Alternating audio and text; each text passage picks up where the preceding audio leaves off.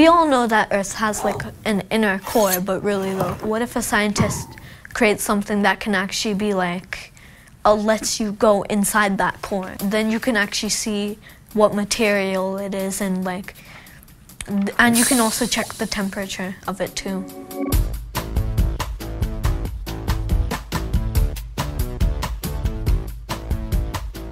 Um, Um, ooh, I think the possibilities are infinite. flying buildings. You could just keep going. wings on the side like an airplane. It's going to keep developing. a machine that makes paper without cutting.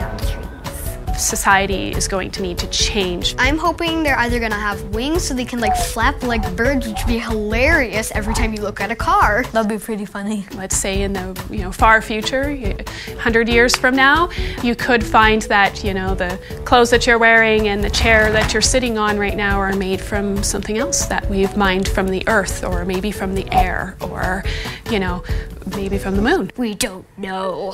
Either just live in a gigantic spaceship or just find another planet to travel to. It'd have to have like lots of supplies and like I think maybe in the future they could create like unlimited food or something or maybe even a farm on it. In order to do that, you're going to need geoscientists and you're also going to need um, engineers as well.